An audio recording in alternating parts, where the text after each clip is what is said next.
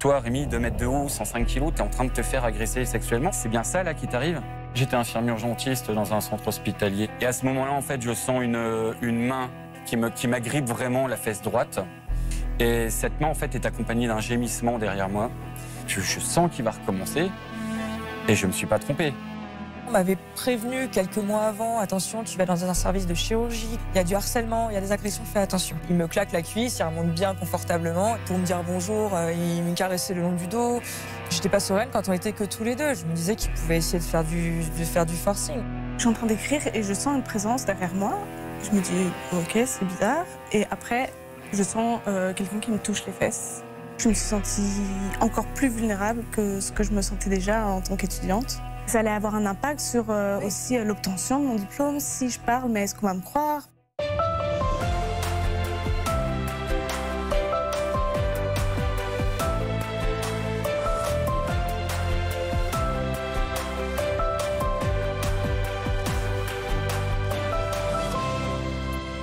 Bonjour à tous et merci de nous rejoindre sur France 2 comme tous les après-midi. C'est une semaine spéciale inédite que nous vous proposons dans Ça commence aujourd'hui pour lutter ensemble contre le harcèlement sous toutes ses formes. Et cet après-midi, nous avons choisi de donner la parole à trois soignants. Au sein du personnel hospitalier, la colère gronde depuis plusieurs mois et des voix commencent à s'élever pour dénoncer des faits de harcèlement et d'agression sexuelle entre blouses blanches. À l'hôpital, la parole se libère enfin, comme en témoignent ces images. Regardez. Le 11 avril dernier, un célèbre hebdomadaire publie une enquête sur les violences sexistes et sexuelles à l'hôpital. Une chef d'un service infectiologie dénonce en particulier le comportement d'un médecin urgentiste très médiatisé. La journaliste à l'origine de l'enquête décrit un contexte où la parole est taboue depuis des années. Dire qu'on n'a pas réussi à faire face euh, à un chef de service euh, trop insistant ou un chef de service maltraitant, c'est quelque chose qui est compliqué. Dans la foulée, plusieurs soignantes témoignent à leur tour de ce qu'elles ont vécu à l'hôpital. Il a commencé à faire des, euh, des gestes tactiles avec moi, à me claquer la cuisse un jour, alors qu'on était à la fin d'une consultation avec un patient. Un mouvement MeToo ébranle alors le monde médical les mois suivants et des chiffres sont révélés. 19% des femmes médecins déclarent avoir fait face à des questions intrusives et répétées sur leur vie privée ou sexuelle. Et au total, 39% des praticiennes ont été victimes de comportements sexistes au cours des 12 derniers mois, soit près de 4 femmes sur 10 selon une étude. Un soulèvement qui touche également les étudiantes et étudiants d'écoles de médecine et qui a récemment incité leurs dirigeants à prendre de multiples mesures. Créer au sein de l'Université Paris-Cité et dans cette UFR une mission sur la lutte contre les violences sexistes et sexuelles, c'était quelque chose d'absolument fondamental. Formation aux violences sexistes obligatoire, enquêteurs spécialisés, dispositif d'accompagnement des victimes, le ministère de la Santé a, dans la foulée de ces révélations, décidé de mettre en place un certain nombre de mesures. Bonjour Audrey. Bonjour. Bonjour Amy. Et bonjour Morgane. Bonjour Merci beaucoup d'avoir accepté de témoigner à visage découvert. Alors Audrey, vous avez été dans les premières à prendre la parole pour dénoncer donc le harcèlement à l'hôpital il y a plusieurs mois, mais à l'époque c'était de, de manière anonyme. Pourquoi accepter de vous exposer aujourd'hui? Parce que je pense qu'il y a un temps pour tout. Aujourd'hui, je considère que l'impunité doit vraiment cesser. La parole, elle est en train de se libérer de plus en plus en anonyme. Et donc je pense que maintenant, il faut prendre le pas d'après avancer. Et euh, c'est vrai que cette injustice et cette impunité a été plus tolérable pour moi. Donc j'ai pris euh, le risque de le faire. Alors, Pourquoi le risque? Qu'est-ce que, vous risquez aujourd'hui? Honnêtement, je suis encore interne en anesthésie, en anesthésie réanimation. Ça veut dire que ma formation n'est pas terminée. Combien de personnes m'ont dit ne le fais pas avant la fin, ne le fais pas avant la fin? Et pour quelle raison vous avez décidé de le faire malgré tout? Pour la justice. À partir de quand, vous, personnellement, Audrey, à quel moment de votre cursus vous avez pour la première fois ressenti un, harcèlement En quatrième année de médecine. D'accord. Vous étiez où pendant cette euh, quatrième année? Dans un service de chirurgie orthopédique euh, et je venais juste de commencer mon, stage. C'est des stages de trois mois. Et donc chaque matin, euh, chaque matinée, en fait, j'avais trois, quatre heures de stage pour apprendre la chirurgie orthopédique. Donc vous étiez avec les chirurgiens titulaires, c'est ça, que vous suiviez dans leur dans leur quotidien, dans leur quotidien, en consultation, au bloc opératoire, lors des réunions. Avant cette quatrième année, vous n'aviez pas été du tout embêté ou mis face à, une, des quelconques formes de sexisme ou de harcèlement? Non. Et pourtant, je pense qu'on est, en tant que femme, malheureusement, toutes sensibilisées parce que dans la rue, c'est très fréquent. Et donc, moi, personnellement, c'est à 15 ans que ça a commencé à m'arriver dans la rue. Donc effectivement, euh, dans la rue, je le savais. À l'hôpital, je l'avais franchement pas vu venir. Qui est cet homme qui s'est révélé un prédateur? Donc moi, j'étais étudiante en quatrième année. C'était un interne de 12e année. D'accord, donc un supérieur hiérarchique? Ah bah, il avait 8 ans de plus que moi et c'était mon supérieur hiérarchique. D'accord. Qu'est-ce qu'il a fait? En fait, dès le, premier jour, quand j'ai commencé à, être en stage, honnêtement, je pense qu'il a demandé euh, si j'étais célibataire quasiment au même moment, si ce n'est avant de me demander mon prénom. Donc déjà, j'avais trouvé ça très très bizarre. Euh, ensuite, euh, finalement, il a commencé à me demander s'il pouvait m'ajouter sur Facebook. Mais dans la première journée, c'est-à-dire qu'il devenait à me demander si, il voulait prendre si je voulais prendre un verre avec lui. C'était très bizarre. Et en même temps, on m'avait prévenu quelques mois avant, attention, tu vas dans un service de chirurgie, qui plus est de chirurgie orthopédie, il y a du harcèlement, il y a des agressions, fais attention. Pardon, mais je vois absolument pas le rapport avec le fait que ça soit une chirurgie opétique. Si? En- Je oui, enfin, je, je peux vous laisser l'expliquer. non, mais ça m'intéresse. Déjà, ce qu'il faut savoir, c'est que euh, le bloc opératoire, c'est très particulier. Les chirurgiens, c'est encore plus un monde fermé, Mm. clos, dans lequel ce qui se passe à huis clos dans un bloc ne sort pas du bloc. Donc, il y a déjà une forme d'impunité, j'allais dire, euh, structurelle. Mm. Et puis, il y a dans les blocs une proximité des gens. Euh, je- il y en a deux qui tiennent les pinces pendant que l'autre est au milieu, etc. Donc, il y a cette proximité tactile qui fait que bah, souvent, ça dérape assez rapidement. Plus dans la chirurgie orthopédique Non, Ouais, chirurgie d'une manière générale. Chirurgie tout court. En chirurgie d'une manière générale, euh, mais c'est surtout, je pense aussi que le, le facteur à prendre en compte, c'est que à la fin du concours de médecine, il y a plus de femmes médecins que d'hommes médecins, mais dans la- les spécialités de chirurgie et dans les spécialités qu'est la mienne, anesthésie-réanimation, il y a plus d'hommes que de femmes. Et donc, moi, je pense que malheureusement, c'est nos deux spécialités où il y a le plus de harcélement et le plus d'agressions statistiquement. Là où il y a plus d'hommes. qui était Là en où il y a le 2020. plus d'hommes. C'est là où il y a le plus d'hommes. C'est pas tous les fait. hommes. Non, non, non, on est d'accord. Non, non, mais on est là pour Mais stigmatiser personne. Mais, mais- c'est un fait. Oui, c'est complètement un fait. Donc euh, moi, ça m'a effectivement maintenant avec le recul, avec ce que je fais maintenant dans mon engagement syndical notamment, je vois bien que effectivement c'est complètement corrélé et il y a des études qui le prouvent. Alors, cet homme-là, il a commencé à se montrer insistant. Ça, c'était le premier jour. Ah ouais. euh, C'était euh, C'est l'apéri- rapide. C'était l'apéritif. Ouais, comme Qui, entrée en, matière. C'est ça. Et en fait, le lendemain, j'étais bah, pas de chance, j'étais en consultation je- donc, avec lui. Donc, euh, le but, c'est de voir les, les patients et les patientes les uns après les autres pendant, je pense, 3-4 heures et, euh, et de m'apprendre un, un minimum de médecine. Bon, il m'a rien appris. Par contre, à, à la fin de la, de la- de la matinée, il fallait aller déjeuner. Et en fait, vraiment, je, je sens que je m'y attends. Il me fait Bon, bah, allez, Audrey, on va déjeuner. Et puis, en fait, il, me- il me claque la cuisse, il remonte bien confortablement. Et puis, finalement, il se lève à, à la fin. Et euh, c'était le deuxième jour ou le troisième jour. Mais c'est vrai que sur le moment, je m'étais dit, mais, mais euh, j'étais sidérée. Je me rappelle avoir eu cette- cet état de sidération Ouais. euh, où je m'étais dit, bon, il s'est passé ça, je, je- qu'est-ce que j'en fais, qu'est-ce que je dis?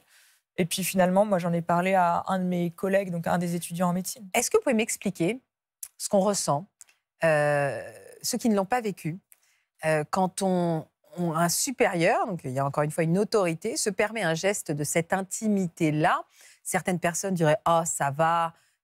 Qu'est-ce, pourquoi Qu'est-ce qu'on ressent? Et quelqu'un va peut-être m'expliquer pour que ça soit aussi dévalorisant, humiliant et plus choquant que le geste en lui-même. En fait, on n'a pas la même possibilité de réponse que tout le monde. Euh, C'est-à-dire que moi, ça me serait arrivé euh, dans la rue, je risque rien à répondre. Alors, si c'est de jour et que je suis pas toute seule, je risque rien à le, à le réprimander, entre guillemets. Il va lui dire Mais qu'est-ce que tu fais? Là, c'est mon supérieur qui potentiellement peut aider à ma validation de stage dans un contexte où, bah, voilà, on va revenir encore une fois là-dessus, la chirurgie, c'est très toléré. En fait, donc on allait me dire So what? C'est-à-dire Vous êtes obligé d'accepter, finalement. Sur le moment, oui. Après, je me suis pas laissé faire à la fin, mais sur le moment, on va pas se mentir. On dit que tu as été harcelé ou agressé dans un service de chirurgie.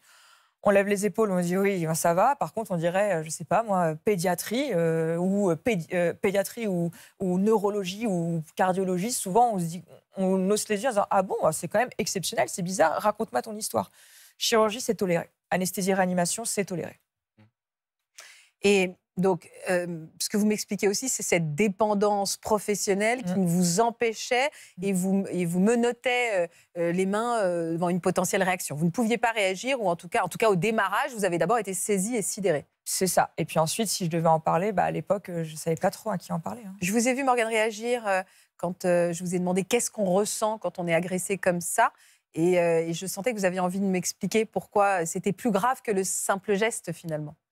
Euh, oui, euh, vraiment pour rebondir sur ce que disait euh, Audrey Audrey, il y a toute cette position de vulnérabilité qui, enfin, qui nous sidère encore plus. Et en fait, notre parole, elle va potentiellement être mise en question ou non, mais en fait, bah, tout va dépendre de la réaction de ceux qui vont accueillir notre parole et notre diplôme. Enfin, vraiment, enfin, moi, je rebondis vraiment là-dessus, c'est qu'ils ont en main quelque chose euh, de vraiment euh, fort. Mais notre diplôme ou notre carrière Oui, est en jeu, euh, en fait, tout en simplement. jeu, Votre carrière est en jeu. Il y a eu quoi comme autre geste déplacé, à part cette main sur la cuisse? Après, ça a été des caresses dans le dos. Le matin, euh, pour me dire bonjour, euh, il me caressait le long du dos. C'était. Et comment vous réagissiez? Vous lui avez formulé à un moment À un moment, oui, j'ai fini par dire stop parce qu'en fait, je pense qu'il y a eu l'état de sidération au moment de la, de la- du claquement de cuisse. Ensuite, j'ai compris ce qui s'est passé et à partir de ce moment-là, chaque geste, je lui disais stop. Donc effectivement, quand c'était le dos, bah, je me, je me ravançais, je lui fais qu'est-ce que tu fais? Quand euh, ça a été euh, une fois, il m'a tenu le poignet fortement parce que euh, il voulait absolument que j'aille petit déjeuner avec avec toute l'équipe, dont lui. Et j'avais dit non, parce qu'à l'époque, lorsque je disais oui, en fait, il voulait absolument me payer le, le petit-déj.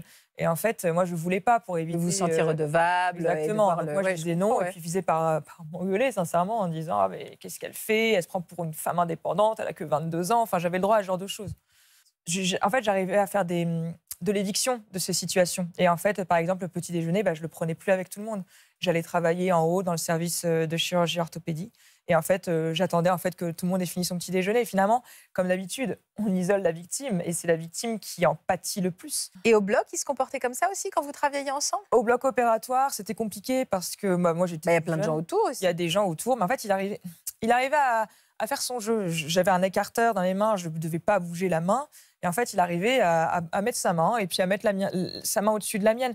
Ça paraît rien, mais c'est très long. Une minute, deux minutes, cinq minutes comme ça. Ah oui, sachant c'est que long. sa main euh, ne sert à rien si ce n'est me mettre mal à l'aise. Donc voilà, ça a duré trois mois.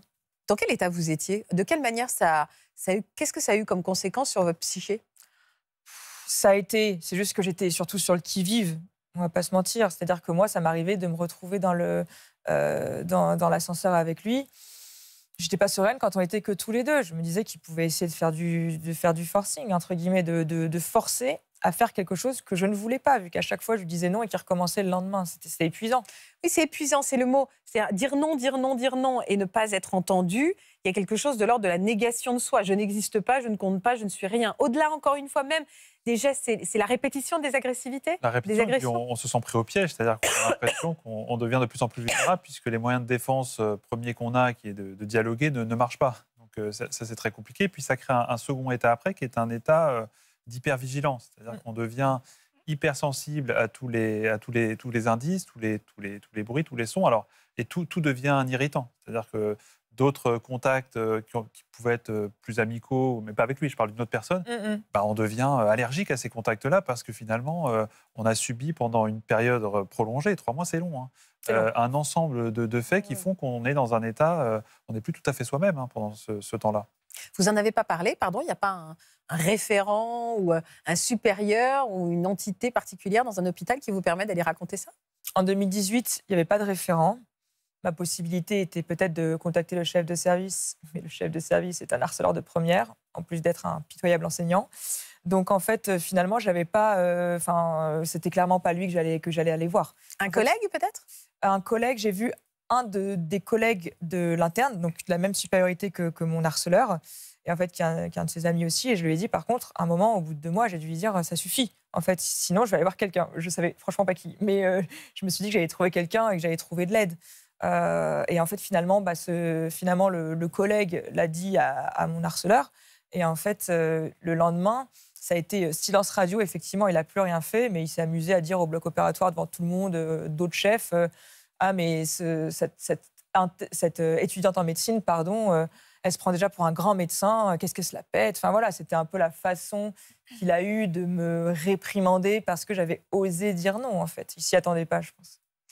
Ça, ça a fini? Vous, avez pu vous poser des questions sur la carrière que vous, pouvez, que vous aviez l'intention de mener?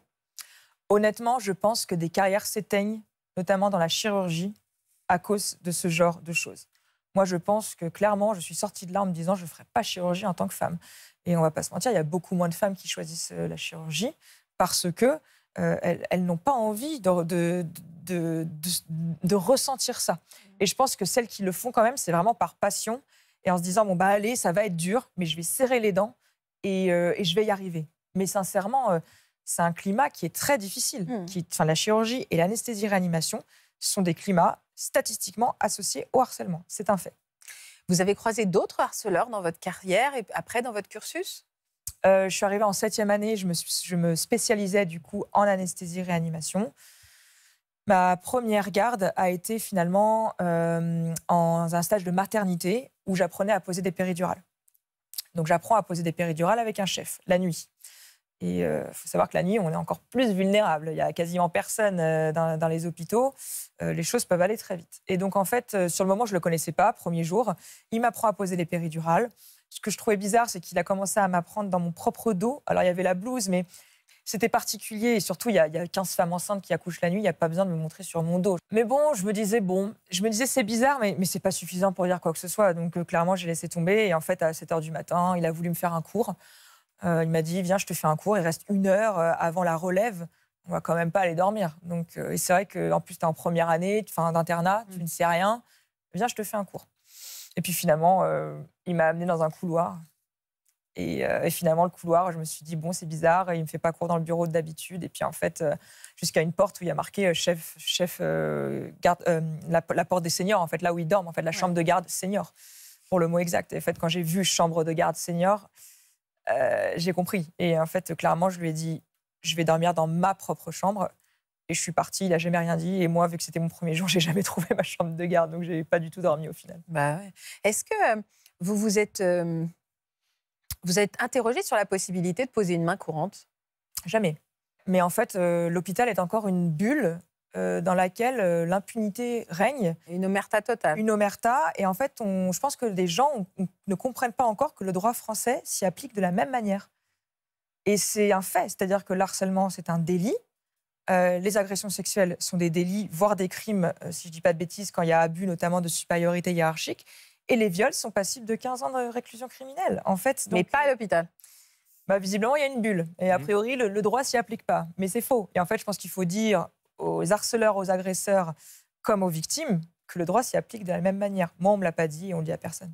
Où commence le harcèlement dans tout ce que vient de nous décrire Audrey? Qu'est-ce qui lui aurait permis d'aller se rendre à la gendarmerie? À Pour peu- faire à au moins un signalement Alors, euh, les premiers gestes, euh, la main dans le dos, etc., ça peut être considéré comme du harcèlement sexuel. Et ce qui les fait considérer comme du harcèlement sexuel, c'est des agissements répétés. Le harcèlement est constitué à partir du moment où les agissements sont répétés. Sauf qu'on ne peut pas prouver, pardon. Moi, j'arrive demain à la gendarmerie et je dis, euh, on m'a passé trois fois la main dans le dos et vous me dites, vous êtes bien gentil, j'étais pas. Enfin, comment ça se prouve des mains dans le dos? Mais ça se si vous voulez, c'est exactement la même problématique que n'importe quelle victime de fait à caractère sexuel. En général, ça ne se passe pas au Stade de France, hein, ça se passe dans un huis clos. Il y a l'harceleur ou l'agresseur et vous-même. Donc en fait, il s'agit de faire cette, euh, cette déclaration, ce dépôt de plainte, et ensuite c'est à la justice d'évaluer la validité de votre parole. Elle le fait au travers de l'instauration d'une expertise psychologique. Maintenant, on a quand même des grilles d'évaluation qui sont relativement fiables sur euh, la validité d'une parole. Parce que c'est toujours la même problématique.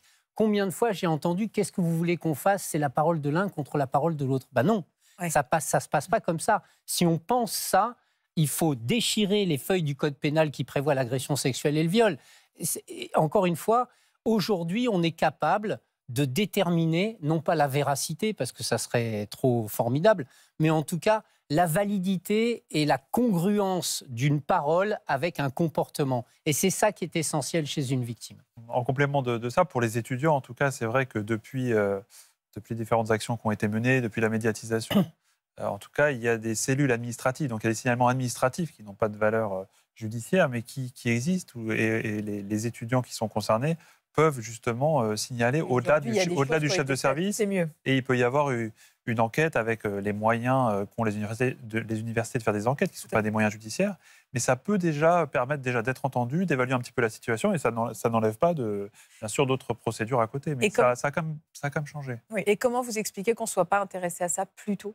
Le- il y a un ensemble de facteurs. Il y a le- la libération de la parole, il y a la, la démographie des, euh, des étudiants qui a changé, il y a le- une vigilance qui est plus importante, et, et, euh, et bien heureusement, on commence à, à re- à repérer ce qui est du registre de l'acceptable, du pas acceptable et de plus acceptable. Mais il y a quand même une aussi. culture particulière au sein de l'hôpital qui permet d'accepter ça?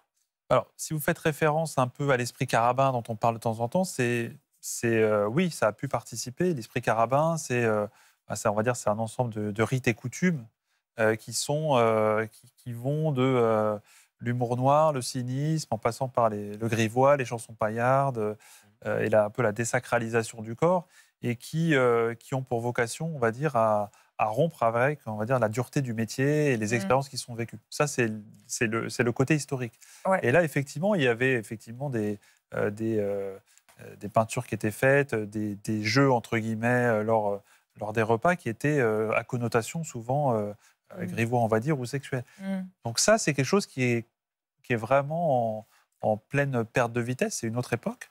Euh, alors ça a pu participer effectivement à une banalisation de, de ces propos et des, remarques euh, à caractère sexuel ou sexiste. hein. Audrey? Ouais, moi j'ai envie de rebondir là-dessus parce que euh, moi j'ai l'impression au fur et à mesure que finalement les fresques et la culture carabine c'est plus une conséquence qu'une cause.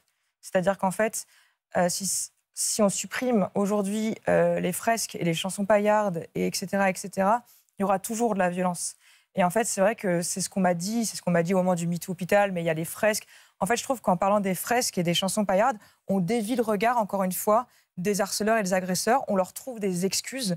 Ah, mais c'est parce que j'ai vu des fresques tous les jours au déjeuner. Oui, moi aussi, c'est pas pour ça que j'ai commencé à violer quelqu'un.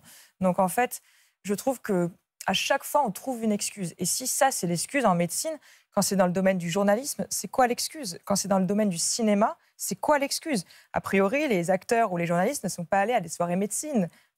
Et ouais. C'est quoi ces histoires de fresques, pardon? Mais vous avez l'air de Ah bah, savoir très bien de les salles parle. de garde sont ornées de fresques à caractère, on va dire, sexuel, si ce n'est pornographique. Euh, Mais c'est quoi Pour quelle raison Et de... ça a toujours été Alors, le cas c'est- sur des fresques qui sont un peu anciennes. C'est euh, ça avait ça, bon, à caractère sexuel, c'est sûr, mais Mm. ça avait aussi l'ambition, en partie, de désacraliser la hiérarchie de l'hôpital. Mm. C'est-à-dire qu'effectivement, vous aviez le chef de service avec son sexe dans la main, euh, euh, qui euh, c'est pas une photo, Faustine, c'était une caricature. Non, non, mais on en sourit. Mais parce que nous, moi qui ne suis pas dans ce Mm. milieu-là, je suis sidérée de ce que Mm. vous me racontez. Et très second degré, euh, grivoise, euh, qui est abusante Oui, mais pour qui certains, peut être extrêmement malaisante parce qu'on baigne dans un- quelque chose de très sexué à un endroit où ça ne devrait pas l'être. c'est sexué. Alors, euh, quand on interroge euh, le- les, les internes, notamment, c'est-à-dire les, les étudiants en formation sur euh, le fait de devoir les retirer, pas les retirer, sont- les avis sont plus mitigés. Ils ne sont pas contre les laisser, mais en, en gardant le caractère un peu historique et en n'en produisant pas, en en produisant pas Pas de des nouvelles. ouais.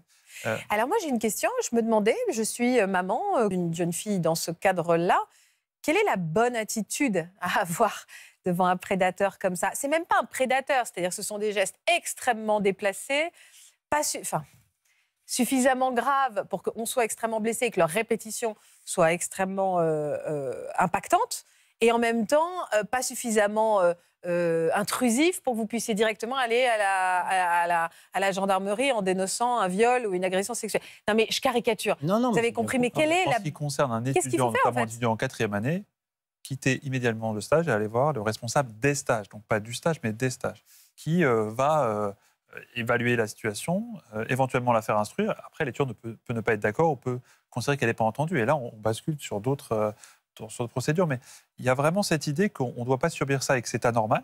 Le côté euh, c'est pas, c'est pas normal, c'est anormal.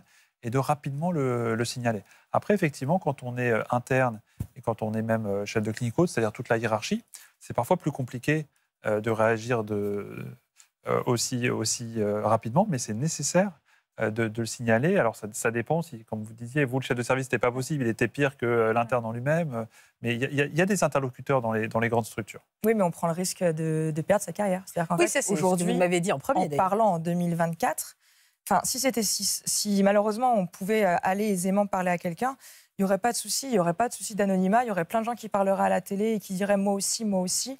Or, par exemple, moi je sais que j'ai à peu près, en, en tout maintenant aujourd'hui, euh, à peu près 100 victimes qui me disent, je n'ai jamais dit, mais je te le dis à toi parce que voilà, maintenant je reçois pas mal de témoignages. Je comprends totalement, effectivement, c'est censé être la norme. Mais on a peur. Et encore aujourd'hui, j'ai reçu un, un témoignage d'une victime pour deux tentatives de viol dans un service de chirurgie euh, qui me dit, mais en fait, euh, oui, je l'ai dit euh, à un supérieur, mais bon, honnêtement, on va pas se mentir. hein, il, il se passe ça, c'est ah, une petite tape dans le dos, tu recommences pas. Et une mauvaise image euh, comme, euh, comme en CM1. Mais, mais ça va pas plus que ça. Et encore une fois, euh, l'agression sexuelle, on va jamais dire à la, à la- à la victime, bah, si tu veux, tu peux porter plainte, etc. Donc en fait, on a un manque nous, il y a un retard, on a trois trains de retard là-dessus, c'est-à-dire qu'en fait, normalement, une agression sexuelle, c'est je t'accompagne au commissariat et ça s'arrête là. Nous, à l'heure d'aujourd'hui, c'est je vais lui dire quand même que, que c'est pas bien ce qu'il fait. C'est ça le problème. je comprends. Et surtout, Très juste. pour- ah, donc en fait, la conséquence, c'est à quoi ça sert de parler si c'est pour une petite tape dans le dos, mais par contre, en échange, notre carrière peut basculer. J'ai bien compris, vous l'exprimez très bien cette équation. Et puis c'est surtout que c'est là, on... alors là je prends la parole parce qu'effectivement on est dans un milieu, on n'est pas seulement face à un agresseur sexuel Mhm. ou qui porte une blouse blanche, qui porte un masque très bienveillant avec Mm. une profession qui a du qui a charisme, ouais, une aura. Mm. Et là par contre on tombe dans un milieu qui en fait est toxique. Et quand vous arrivez comme Audrey, comme moi, comme Mm. Morgane, dans ce milieu-là et que vous faites voilà, très attention aux valeurs de justice, du code pénal, vous avez très, très bien éduqué, etc. C'est bien beau, mais c'est pas vous qui allez changer les choses. C'est-à-dire que vous tombez dans un milieu où en fait le milieu va plutôt avoir tendance à vous dire chut, tais-toi, Absorber le. ouais. c'est normal, ça a toujours été comme ça, t'as rien à dire. Et c'est ça qui est difficile parce que vous vous retrouvez seul face à une entité toxique. qui est beaucoup plus puissante. Alors Ouais, vous, c'était en, en 2018. Vous aviez 37 ans quand vous avez subi cette agression. Mhm. Euh, je vous propose qu'on regarde quelques images pour comprendre où est-ce que vous en étiez euh, à cette période de votre vie, Rémi. En 2018, Rémi est un homme épanoui au travail comme dans sa vie personnelle. Depuis tout jeune, il souhaite être au service de l'autre et c'est tout naturellement que pendant son adolescence, il devient animateur du centre de vacances pour enfants. À ses 18 ans, il suit la voie professionnelle de sa mère et fait des études d'infirmier. Bienveillant et empathique, Rémi veut mettre l'humain au cœur de son métier et se retrouve très vite engagé au sein d'un centre hospitalier. Parallèlement, il travaille comme officier chez les pompiers en assurant un poste d'infirmier lieutenant. Mais après plusieurs années d'épanouissement à l'hôpital, la carrière du jeune homme va prendre un autre tournant.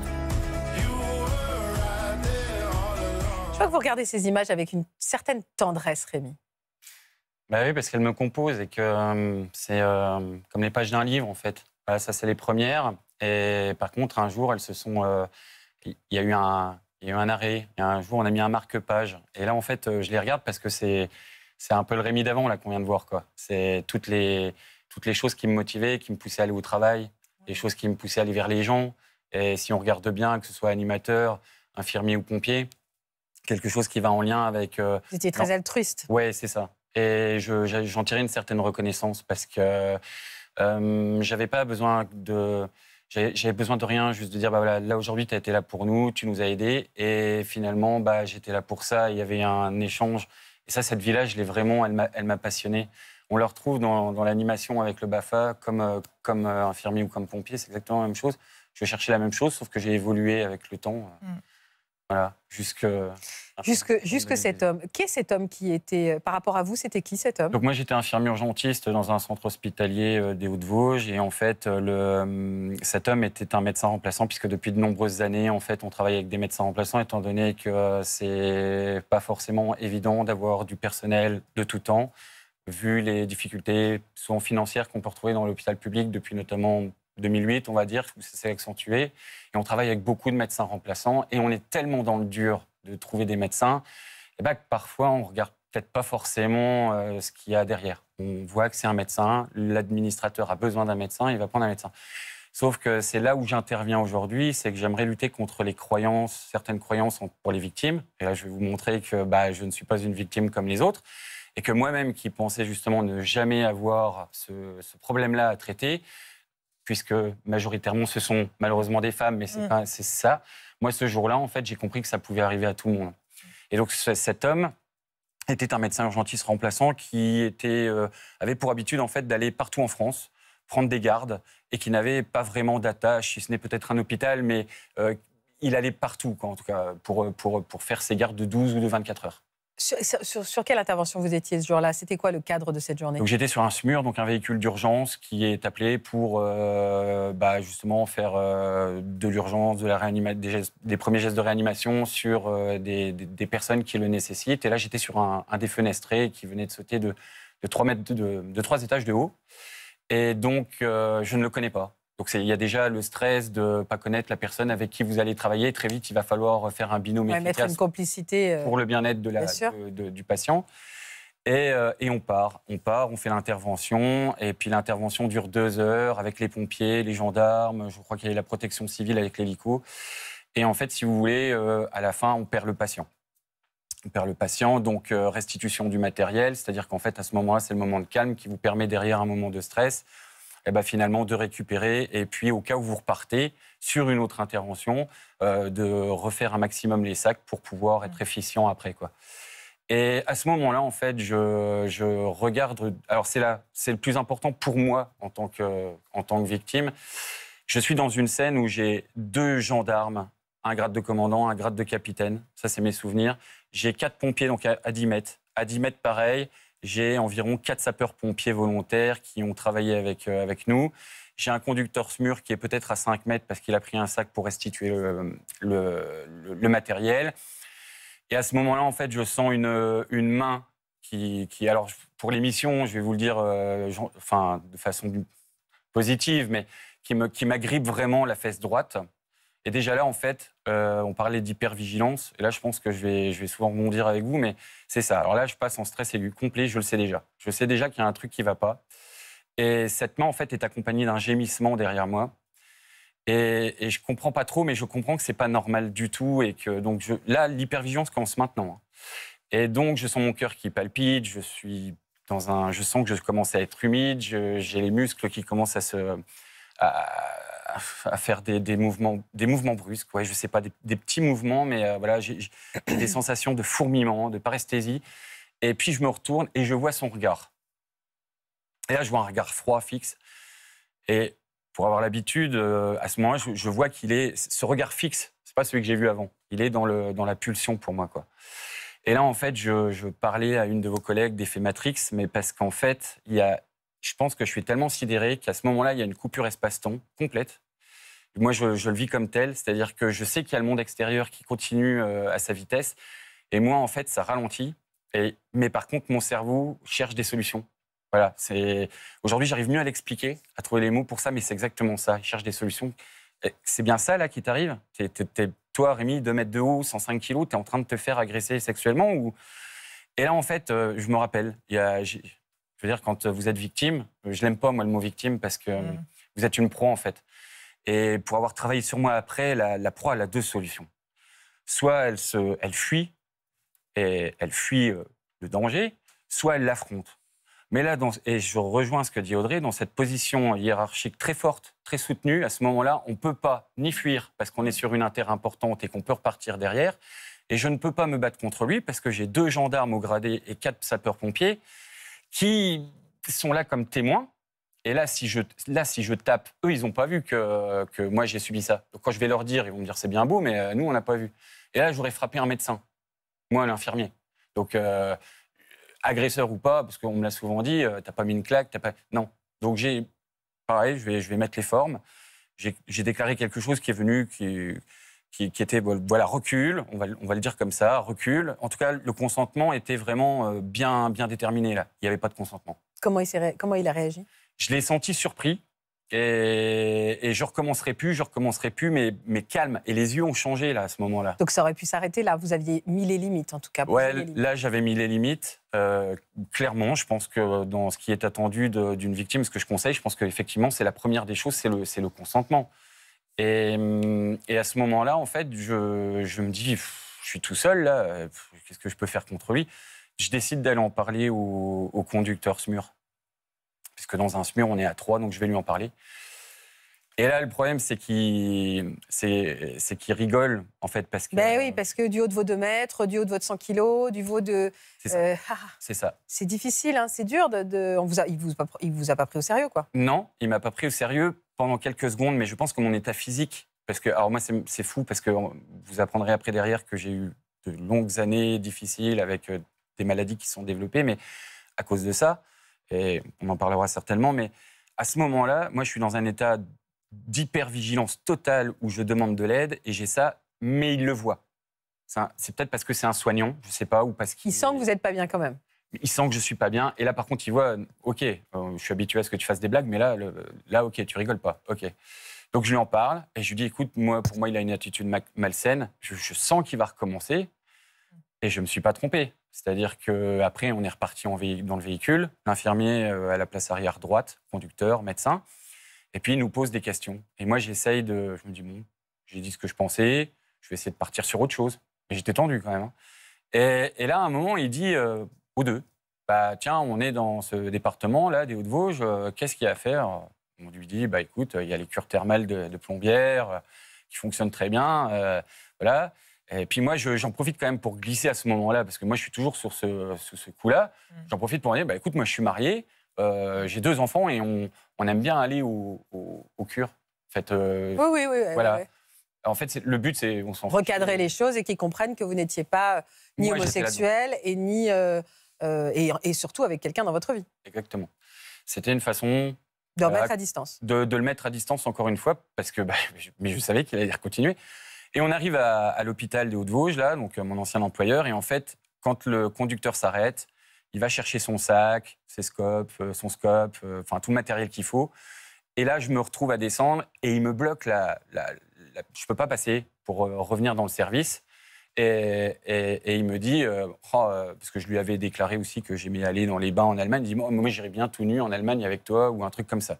Euh, au bout de six ans, j'ai encore du mal, mais c'est quelque chose qui ressemble à ça au niveau des mots que j'ai sortis, que j'ai déclarés. Et là, là, par contre, là, je, pff, je, je, sens que j'explose en fait intérieurement, j'explose complet. J'ai l'impression d'être dans une anxiété qui se contrôle plus du tout.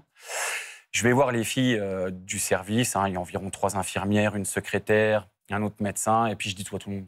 Je lui dis voilà. Première réaction, les rires, ça c'est clair. Mais très vite, je suis quand même cru. Très très vite, au bout de peut-être 3-4 minutes, ça se fait relativement vite. Et je leur explique déjà ce qui s'est passé euh, là-bas et puis là, et ce qu'il vient de me dire. Et je dis voilà, j'aimerais que vous soyez attentive et que vous regardiez ce qui m'est arrivé et voir s'il n'y a pas d'autres gestes ou quelque chose qui vont arriver. Et il y en a d'autres? Eh ben, il y en a eu, il y en a eu plein d'autres. Il y a, enfin, il y en a eu. Je vais vous en raconter trois. À un moment, il est venu avec un dossier médical pour faire une photocopie dans le bureau. Il y avait trois infirmières, la secrétaire, où je lâchais pas, je lâchais pas le, regard. Il est passé devant moi. J'étais en état de stress complet et je n'entendais plus rien. Par contre, il a certainement parlé, mais je peux plus dire.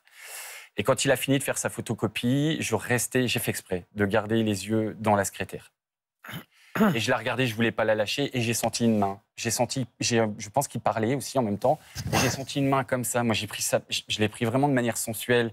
Je l'ai pris dégradant en fait. Et il, s'est- il est parti comme ça, malgré les deux faits qui s'étaient passés et où j'ai dit ce que je pensais quand même. Et donc j'ai vu que la secrétaire, euh, comme ça, quoi, les yeux écarquillés, euh, ok, puis après qui me dit, bah écoute, si tu fais quelque chose, moi je dirais, voilà, euh, en tout cas j'ai bien vu, euh, tu nous as prévenus, pas de souci, ok. Et puis euh, voilà, je dis là, maintenant je veux plus travailler avec lui, c'est fini, je ne travaille plus avec lui. Et j'essaye de reprendre le dessus, mais c'est vraiment dur. En fait, là, c'est moi qui me mets un masque hein, pour cacher mon anxiété, parce que j'en, là, j'étais vraiment fragile au plus possible. Je vais chercher un, dossier euh, médical pour prendre en charge une autre patiente qui vient d'arriver. Et là, j'entends une, porte. Je suis en face d'un infirmier, d'un homme et d'une femme infirmière, mes deux collègues. Je suis à un mètre. Il y a juste un petit comptoir avec le bureau et les ordinateurs. Et là, je prends le dossier au-dessus, puis je m'apprête à y aller, mais j'entends une porte. Et là, la porte, je ne sais pas, je devais être déjà sur mes gardes, je sens que c'est lui. Et là, il- je sens une main d'un coup qui vient de euh, mon pectoral et qui glisse comme ça jusque-là. Et j'entends Hmm et, je, et, dans le même temps, je vois que les collègues ne voient rien. Quoi. Et je me retourne. euh, et je ne sais plus si je le pousse ou pas, mais en tout cas, voilà, il se passe un truc qu'il faut qu'il prenne de la distance. Lui, il paraît, oh, il s'est rien passé. Et puis je vois mes collègues, qu'est-ce qui se passe? Est-ce que vous pourriez essayer de m'expliquer, Rémi? Qu'est-ce que, et vraiment avec un, un désir de, de- de compréhension, qu'est-ce que dans ces gestes-là euh, vous fait aussi mal? C'est, comme vous dites, vous m'avez utilisé le mot dégradant, Mm. c'est le fait qu'on passe au-dessus du consentement, c'est le fait qu'un homme vous touche. Euh, qu'est- qu'est-ce qui. C'est le fait d'être piégé. euh, ne qu'est-ce qui vous dérange pour que ça soit que, vous vous déclenchez comme ça une anxiété euh, énorme? Bah, c'est fou parce qu'en thérapeute, vous sauriez bien, parce que vous facilitez ma réponse, c'est exactement l'ensemble de tout ça en fait. Il y a vraiment un côté injuste euh, des choses où je ne peux pas me défendre, je peux rien faire, puis pourquoi moi, puis pourquoi tu me touches comme ça, puis moi je suis un mec, et puis il y y a quelque chose, parce que soit on me demande, on me dit mais comment on peut en arriver là et débloquer sur des pathologies assez, assez longues, mais à ce moment-là, moi comme Audrey, elle, vous le dit, elle a, depuis ta jeunesse en fait, on t'a dit fais attention, Attention peut-être à ta jupe, à ton décolleté, quand tu vas en soirée de pas trop boire, ou de faire attention qu'on te mette pas un, Mais moi, on m'a jamais dit fais attention à ton décolleté. On m'a jamais dit mais fais attention à la jupe que tu vas porter ou euh, ou euh, attention avec certains hommes, tu risques d'être. On parlait déjà pas de ça. On n'était pas aussi ouvert à l'époque. Et, Donc il y a un état de choc aussi. C'est-à-dire Ouais. vous basculez en disant mais en Ouais. fait je peux être une proie ouais, sexuelle. c'est ça. Et certains me Bienvenue disent- dans le monde des femmes. C'est ça. Ouais, c'est ça. Non, non, mais en fait, Bienvenue c'est hyper. euh, C'est Mm. plein d'humilité ce que vous dites en disant, mais moi, je- moi grand gaillard et tout, je n'ai pas pensé que ça pouvait m'arriver. Mm. Et il y a une forme de sidération. Ouais. Et je m'en euh, veux parce que alors je m'en veux plus maintenant, mais je me.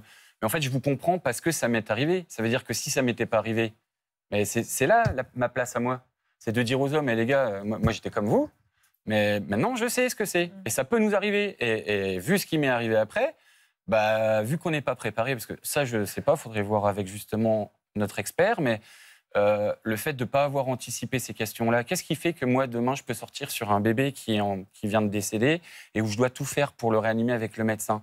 Qu'est-ce qui fait que... Et ça me fait rien. Mm. Qu'est-ce qui fait qu'avec un démembré, ça me fait rien?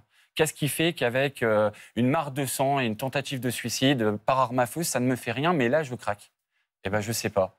Mais en tout cas, j'ai l'impression que j'étais pas préparé, que j'avais pas les ressources à affronter ça. Moi, je trouve que vous l'exprimez hyper bien. Donc, euh, et je trouve ça. euh, non, non, je trouve que vous avez accès à ces émotions et aussi aux incompréhensions que ça a soulevé chez vous. Et vous le dites bien, en fait, je suis capable de gérer ça, mais là, j'ai été incapable de gérer ça et ça m'a c'était extrêmement agressif pour vous. Et alors cette, inaction euh, était, euh, était adaptée parce que vous ne pouvez pas vous faire justice vous-même, Non. mais elle est, elle est aussi euh, une partie du problème. C'est-à-dire qu'inconsciemment, il y a une énorme culpabilité quand on Ah, aurait été capable de se défendre, de ne pas avoir réagi. Et ça, il y a beaucoup de personnes qui le disent, c'est que j'aurais dû faire autrement. Donc Encore plus sidération- quand on est un homme, c'est-à-dire de se Alors, dire quand on a ma un homme ou quand virilité. on, quand on maîtrise par exemple des sports de combat ou autres, on se dit mais moi cette personne-là, je pouvais me, me défendre très facilement et je ne l'ai pas fait pour plein de raisons. La sidération anxieuse, l'éducation, le regard des autres, vous l'avez très bien expliqué. Donc c'était tout à fait adapté de ne pas le faire dans, une vision extérieure. C'est exactement ce qu'il fallait faire. Et en même temps, inconsciemment, il y a cette, colère de ne pas avoir euh, réglé son compte à cet individu et ça, participe à la pérennisation des troubles et ça se travaille en psychothérapie. Et je trouve que pour un homme, pardon, et c'est terrible, parce que, parce que comme la parole est plus, est plus rare, euh, j'imagine aussi ce que ça peut renvoyer de vous-même que d'avoir d'aller voir la direction.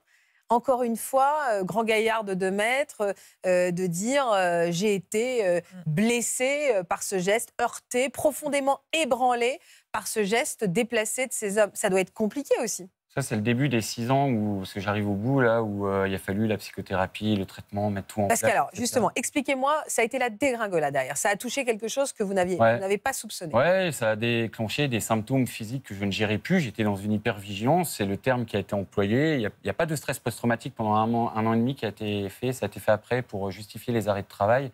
Et ça a été fait après par plusieurs médecins d'ailleurs. Mais, euh, mais au début, non. Et, et ça a été jusqu'à une hospitalisation de 86 jours en HP Ah ouais que j'ai demandé parce que je m'en sortais pas au bout de six Et vous mois. faites le lien direct entre cette agression et l'état dans lequel vous êtes retrouvé dans cet hôpital psychiatrique?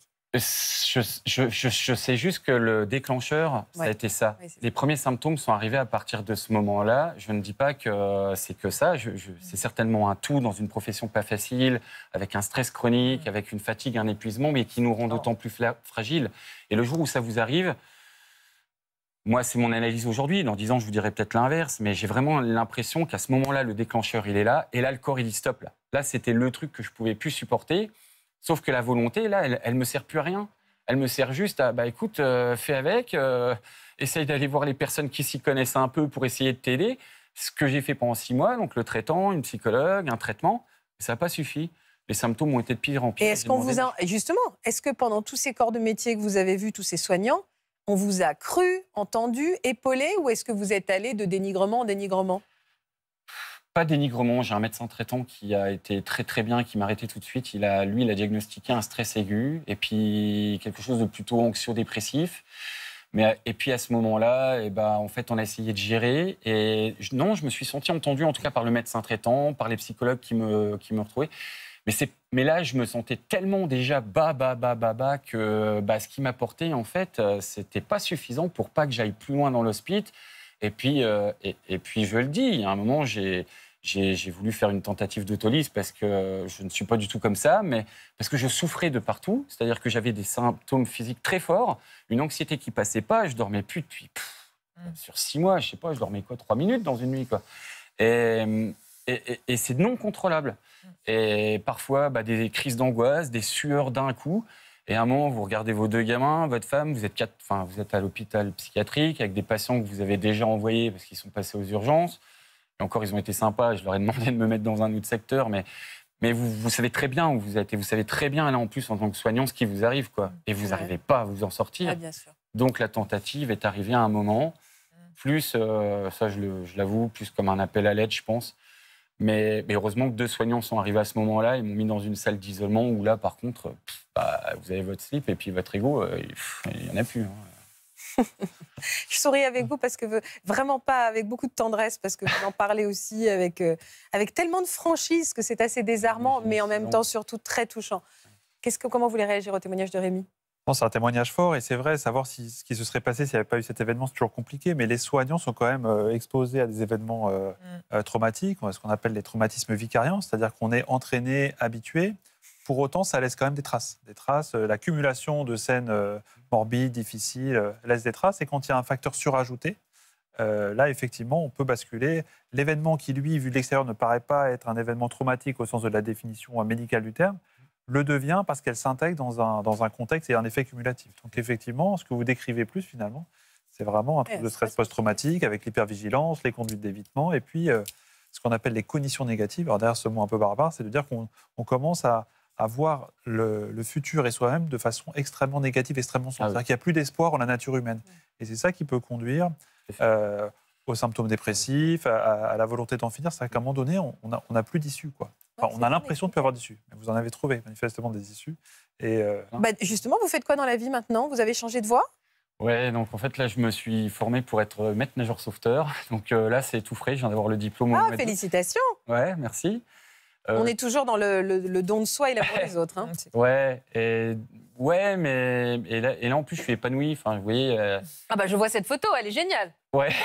Bah là, c'était le maillot nageur sauveteur, c'est juste l'étape d'avant, euh, voilà. Et, euh, et après, vous passez le- les prérequis pour devenir maître nageur et vous partez sur un an de formation. Je voudrais qu'on écoute Morgane aussi, si vous voulez bien. Que s'est-il Vous, ça s'est passé quand déjà? Votre, votre euh, agression, c'est le terme qu'on utilise?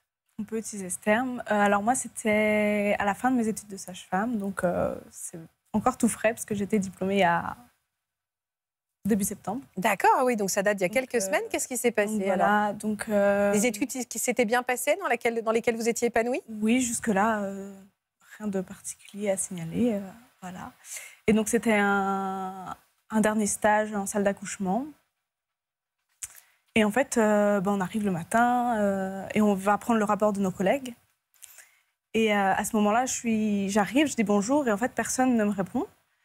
La position de l'étudiant, euh, enfin, je pense que vous avez connu ça aussi, elle est toujours un peu délicate. C'est qu'on doit faire sa place. Enfin, faut toujours un peu insister. Bonjour, je suis là. Eh oh, je suis là. Ouais, C'est une bataille pour se faire sa place dans la société et dans ce petit Ouais, monde aussi. parfois euh, c'est compliqué et donc euh, bah, personne ne me répond. Je me dis ok, bon, je vais prendre le rapport de mes collègues et on verra après ce qui va se passer.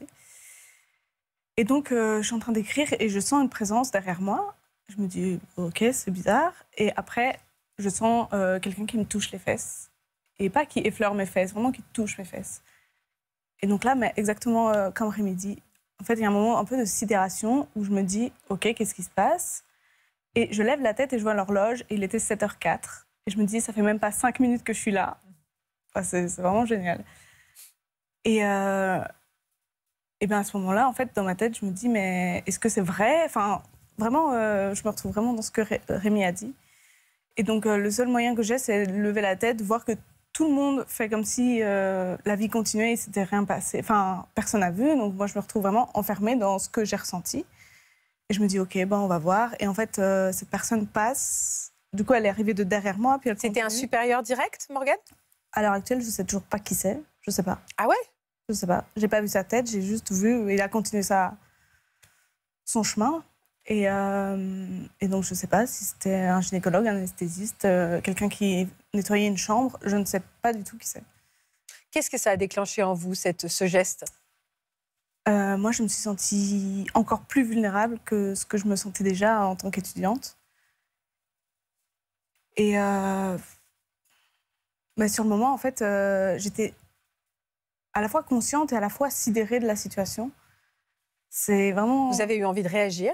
En fait, je crois que une milliseconde, j'ai eu envie de réagir. Et puis, je me suis rappelé que j'étais là en stage, que personne ne m'avait dit bonjour. En fait, il y a tout un environnement euh, qui fait que je me suis rappelé que c'était mon dernier stage, que toutes les évaluations que les sages-femmes, euh, les médecins, enfin, tous, tous les gens qui allaient m'évaluer, bah, ça allait avoir un impact sur euh, aussi euh, l'obtention de mon diplôme. Si je parle, mais est-ce qu'on va me croire? Personne n'a vu que j'étais là et j'arrive et je vais dire euh, Eh oh, euh, regardez. Enfin, du coup, Et dans ce milieu-là, dans ce, dans ce cadre-là où on parle de maternité, il n'y a pas une sororité un peu, plus, un peu plus évidente, un peu plus poussée, comme on pourrait l'imaginer?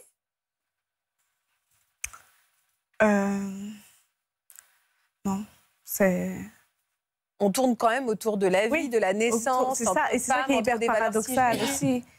C'est qu'on peut imaginer qu'il y a tout un environnement de bienveillance, mais en fait, encore une fois, euh, je ne sais plus, euh, l'un de vous deux disait, en fait, on se retrouve au sein d'une équipe, et en fait, au lieu de, au début, peut-être que ça révolte les gens, mais à- au final, on se fait aspirer par ce mouvement, et en fait, bah ok, on cautionne, tout le monde cautionne, bah moi aussi je cautionne, et du coup, en fait, enfin moi, c'est vraiment comme ça que j'ai vécu. Ah, pardon. Vous avez fait face à d'autres remarques sexistes ou misogynes?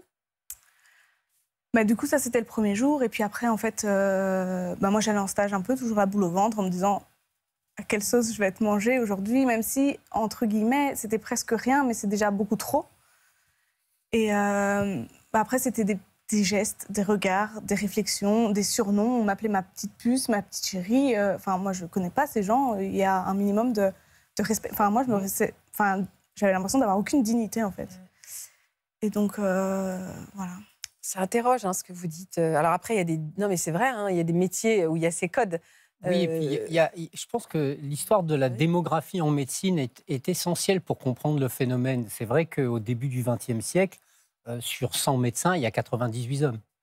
Euh, Aujourd'hui, on a complètement inversé cette tendance. Et ce qui était finalement un épiphénomène, parce qu'il ne touchait que quelques dizaines de femmes qui avaient eu le courage ou l'inconscience d'aller dans ces métiers-là, aujourd'hui, on n'est plus du tout dans ce cas de figure-là on a une proportion qui a complètement, qui a complètement changé. Toutes les professions se féminisent et notamment la profession médicale. Donc aujourd'hui, ça devienne finalement, dans cet univers qui était exclusivement masculin, quelque chose d'insupportable, c'est beaucoup plus compréhensible parce qu'il y a une population qui est beaucoup plus euh, sujette à être victime de ça. Ce qui n'était pas le cas euh, il, y a, il y a quelques décennies. Pourquoi vous en parlez aujourd'hui, Morgane? Euh, bah, J'en parle, je pense, euh, pour montrer que ça arrive euh, même à des endroits où on ne l'imagine pas. Et aussi, j'aimerais vraiment mettre en lumière la vulnérabilité de l'étudiant. Oui, vous avez raison. Et moi, c'est ce que je retiens dans ce que vous dites. C'est qu'en effet, d'être. Vous arrivez, vous avez d'ailleurs très bien commencé votre, votre récit en nous disant déjà, je dis bonjour, on ne me regarde pas, donc je ne suis rien, je n'existe pas. Il va falloir que je fasse des coudes pour ne serait-ce qu'on me dise bonjour, c'est-à-dire que juste qu'on me voit. Ouais. Et la seule manière qu'on a eue euh, de me montrer que j'étais là, c'est en m'attrapant les fesses. Pardon, hein, mais c'est en me mettant une main aux fesses. Donc on peut imaginer à quel point les conséquences peuvent être assez fortes dans, un, dans, un, dans, dans, dans l'esprit d'une jeune femme qui arrive en plus sur le marché du travail. C'est d'être chosifiée à- aussi euh, rapidement. Encore une fois, on parle Ça, de, de jeunes étudiants, quoi. C'est-à-dire qu'on n'a pas l'aplomb et l'assurance d'une, d'une carrière, d'un titre, d'un statut, quoi. ça fait partie des violences sexuelles et sexistes qui sont décrites, c'est-à-dire euh, euh, ré- réduire euh, l'individu à un objet sexuel, avoir des propos euh, constamment à connotation sexuelle, des propositions incessantes euh, qui font en plus rire les, les collègues, qui dévalorisent et qui isolent. Donc c'est un environnement extrêmement délétère. C'est euh, bien décrit, c'est très difficile de s'en extraire. Euh, on a des euh, euh, maintenant, il y a quand même euh, des signaux d'alerte qui sont euh, qui ont été identifiés et c'est en train de se mettre en place hein, grâce euh, ah bah, à tous ces témoignages et à une nécessité d'évolution.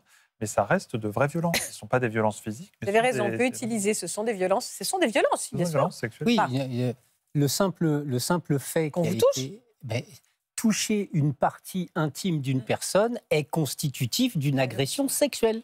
C'est pas un petit harcèlement, c'est une agression sexuelle. Et, et d'une manière plus générale, on est, euh, enfin, pour, pour se sentir confortable euh, quand on est en stage, quand on est étudiant, mais dans la vie de tous les jours, on a ce qu'on appelle un espace péripersonnel. C'est-à-dire, c'est un espace autour de soi qui correspond en général à la longueur de son bras, dans lequel on est confortable. Tu n'envahis pas mon espace, je n'envahis pas ton espace. Exactement. À partir du moment où les gens euh, sont... Non, c'est une citation de Dirty Dancing, mais qui en effet veut vraiment tout dire. Ouais. D'accord? Vous vous en Mhm. souvenez de ça? Fait. Merci. On se souvient plus du, du porté, mais cette phrase, euh, moi. Non, mais c'est très vrai. En effet, vous avez raison. Il y a l'espace. Ah oui. On n'envahit pas cet espace-là autour de soi. C'est intrusif. Et donc, c'est très inconfortable, même si on n'est pas touché, euh, que les gens pénètrent dans cette, dans cette intimité-là. Alors, au bloc, ça se passe, Mm. ça se passe dans d'autres circonstances. Donc, déjà, il y a un rapport, euh, Oui. euh, il y a un rapport de, on va dire, d'autorité qui, qui, qui, qui peut avoir lieu dans cet espace-là. Et il est, il est important de le préserver. Donc, euh, et après, bien sûr, le reste, ben, Marc l'a dit, pour euh, ce qui est des, euh, des attouchements et autres. Ouais, et puis je trouve ça assez particulier en plus dans leur métier respectif, c'est qu'on a attrait au corps, on est aussi dans l'intimité de quelqu'un. Oui. On peut se retrouver face à quelqu'un qui est dénudé, vulnérable, où il y a de la chair et on doit même poser des mains sur des victimes. Ouais. Donc il y a quelque chose en plus que je, je- que je trouve euh, Mm. très particulier dans l'atmosphère qui doit régner dans vos métiers. Ah, Cette intimité-là euh, euh, directe avec des victimes et cette distance absolue qu'il faut garder avec son collègue. Quoi. À dingue. partir du moment où il y a un lien de subordination, il y a un lien de suggestion, à partir du moment où l'un dépend de l'autre, ça fausse évidemment Mais tous oui. les comportements et toutes les possibilités de réaction. Ouais. fait. Et puis moi, j'ai envie de dire aussi que c'est un enjeu de santé publique. C'est-à-dire Ah, que oui, c'est un véritable, clairement. du par le fait qu'en tant qu'étudiant, on n'ose rien dire, de par le fait que cet harcèlement, ces agressions, ça conduit à des burn-out, ça conduit à des fragilités. Comment on peut Lorsque- soigner si on... Lorsque enfin, Rémi ou Vous avez Morgane raison. Vous avez euh, raison. se fait agresser, ou moi je me suis fait harceler, Ce sont des mi- victimes qui se retrouvent en danger derrière. c'est ça, parce que la minute d'après, on, on continue de soigner, en fait. Moi, oui, vous avez raison. les c'est très victimes juste. qui se sont fait violer et qui m'ont parlé m'ont dit j'ai continué mon travail comme si de rien n'était. Est-ce qu'on est aussi performant ou performante lorsqu'on vient d'être agressé ou harcelé? Je ne pense pas. Et au-delà de ça, on peut même parler du suicide des soignants, notamment moi pour ma paroisse, c'est un interne tous les 18 jours. On sait que c'est pas que euh, le, le- le fait d'avoir beaucoup Euh, de travail, l'harcèlement, l'harcèlement aussi. Donc en fait, c'est un enjeu de santé publique. C'est ça qu'il faut comprendre. Vous avez raison, et c'est pour ça qu'on vous a donné la parole, euh, pour ce que vous êtes en train de, de- évidemment de souligner, et, euh, et puis pour nos, pour nos futurs étudiants, étudiantes, pour nos enfants aussi. Donc merci beaucoup, merci vraiment beaucoup pour vos témoignages. Merci Marc, merci Florian, merci à tous les trois. Je vous souhaite le meilleur pour la suite. Merci à vous pour votre fidélité. On se retrouve très vite sur France 2. Au cœur de cette semaine spéciale, on apprend beaucoup, on libère beaucoup la parole comme on le fait depuis 8 ans dans Ça commence aujourd'hui.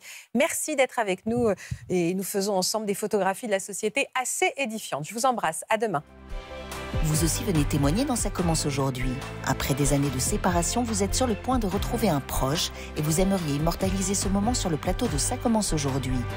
Vous avez besoin d'un coup de pouce de la rédaction pour retrouver la trace d'une personne chère à votre cœur. Vous aimeriez reprendre contact avec quelqu'un qui a marqué votre vie, mais vous n'osez pas franchir le pas. Si vous êtes concerné, laissez-nous vos coordonnées au 01 53 84 30 99 par mail ou sur le Facebook de l'émission.